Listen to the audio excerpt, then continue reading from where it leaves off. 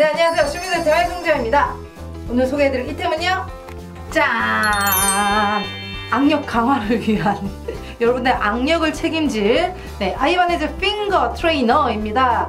얘 원래 IFT 10이라고 해가지고 원래 나왔었어요. 근데 얘가 업그레이드 돼서 돌아왔어요. IFT 20 네, 얘는 각 손가락의 근력을 좀 뭔가 효과적으로 향상시킬 수 있는 악력기로 핑거링의 뭔가 정확도와 지구력 훈련 아니면은 이제 연주 전에 이제 스트레칭 용으로 추천하는 제품이에요.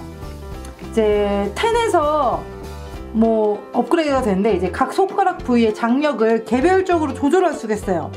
이, 이 돌리는 걸로 악력을 조절할 수가 있어가지고 사용자에 맞는 설정이 가능하고요. 그리고 사이즈가 작고 가벼워져서 좀 뭔가 가져다니기도 되게 편하고 그래서 장기간 이제 악기를 사용할 수 없는 상황에서 이거 들고 다니면서 손가락의 감각을 유지할 때 좀 큰 도움이 될 것 같은 생각이 듭니다. 사실 예전에 한 번쯤은 호기심에 악력기 한 번 살까 내가 힘을 못 어, 이게 사운드가 잘 안 나는 게 손가락 힘 때문인가 막 이런 의심을 하면서 호기심에 사는 경우가 있잖아요. 저도 한번 샀었거든요.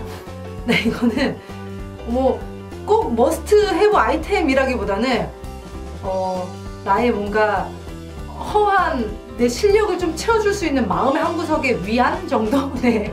이런 제품으로 생각을 하시면 될 것 같아요. 얘 전 87g이에요. 되게 가볍고, 그리고 뭐 사이즈도 딱, 손에 딱 들어오는 사이즈라서, 예, 되게 어, 휴대하기도 진짜 편한 것 같아요. 음. Finger Trainer. 뭐 악력기 하나면 충분하지 않겠어요? 가격은 14,000원. 네.